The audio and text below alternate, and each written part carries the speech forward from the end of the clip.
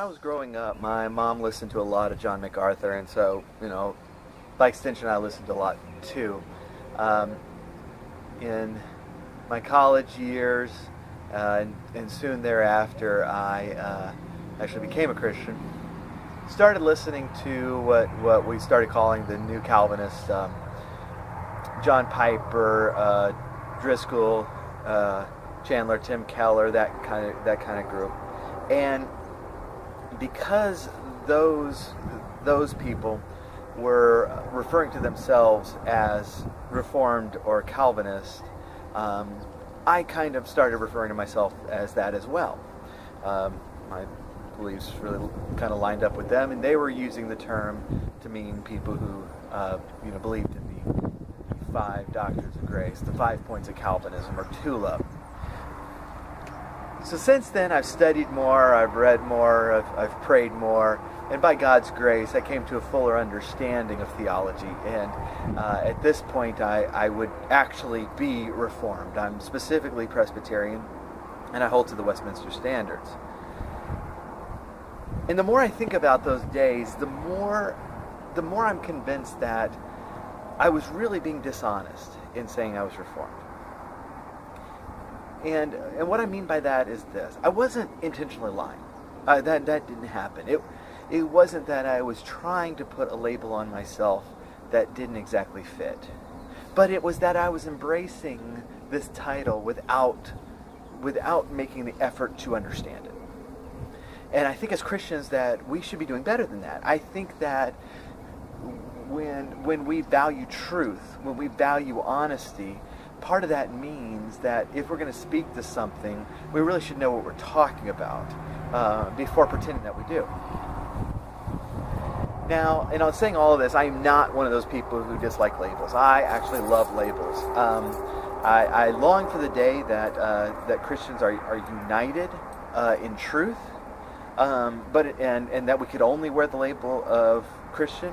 But until that day, labels really shorthand conversations really nicely. If I meet somebody that says, you know, oh, I'm, I'm Lutheran, okay, I have an idea of what that means. I'll probably ask a follow up question to figure out if they're uh, liberal Lutheran or conservative Lutheran. And once that's answered, I know, I, I, I have a really good idea about their theology.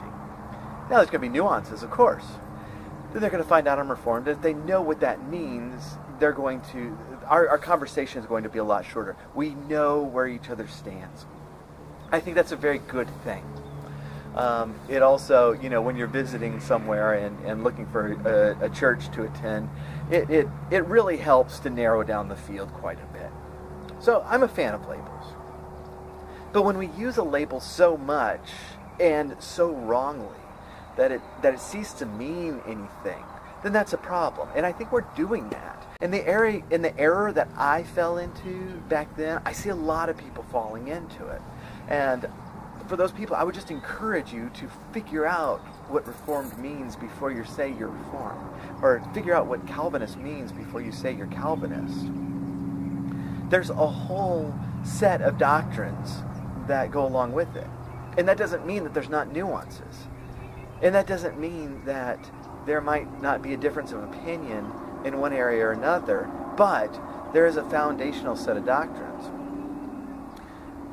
for the first part, being reformed is to be confessional. And historically, the reformed have always pointed back to a confession.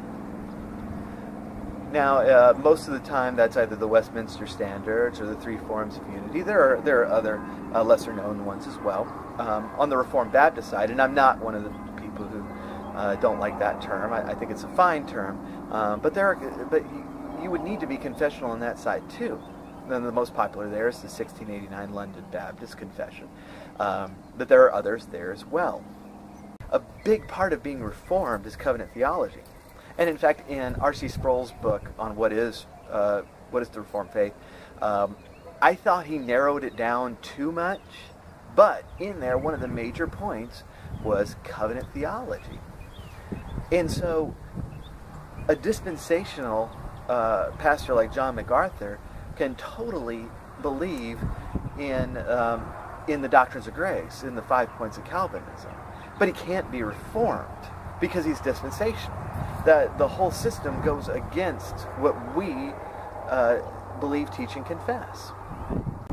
And then there are other points too, and other points that might have, um, you know, small differences of opinion.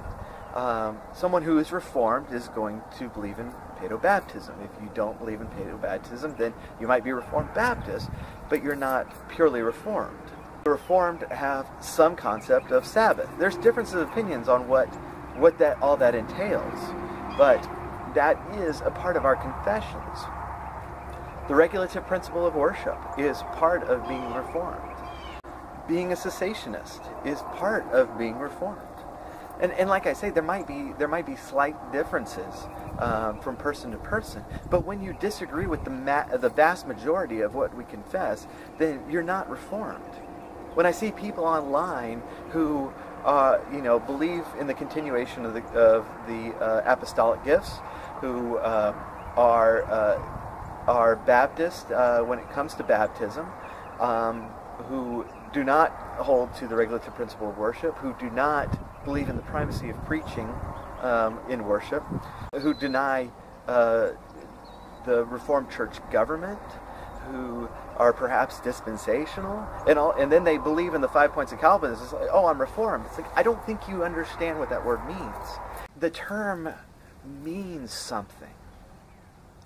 When, when we when we you know we get all we get all annoyed when liberal Christians who deny everything about Christianity call themselves Christian. We get annoyed at that because they don't seem to understand what the word means. And at the same time, people and me in the past were misusing uh, terms that have a definition, that have a meaning, and that are important in, in identifying what we believe. And we should be seeking better understanding than that. There's also another reason that I think that, that you should read more about this. And it's because the depth and scope of Reformed theology, which I believe is the most biblical theology, which is why I'm Reformed, um, the scope and depth goes so much farther than the doctrines of grace. It's so much more full and enriching. And in fact, I, I mean, if you take Reformed theology to the extent that it should go, it does become a whole life theology, not just dealing with how you were saved and why, but what what constitutes uh, your being where you are right now to your family, to the way you work, to the way you worship, to to the the reason to get out of bed in the morning. It truly is a whole life theology that that really should uh, affect the whole person and sanctify everything we do to the glory of God. Now, obviously, that's a, that's a that's an ongoing process, and I'm not there yet. But part of that journey is to know our Lord and Savior better. That's the point of theology, and so I, I, do this video to first to get us to start using words properly, but also to if you are one of those people who who just recently in the last few years have embraced the doctrines of grace, keep going. There there's a lot more there's a lot more than that, and that's the surface of it. And so keep studying, keep reading, keep praying, keep asking for God's grace in theology. And you're going to be opened up to how deep the richness and glory of God really is. Thank you all for watching this particular rant. Please subscribe below. Um, let, let me know what your thoughts on this, and I'll see you next time.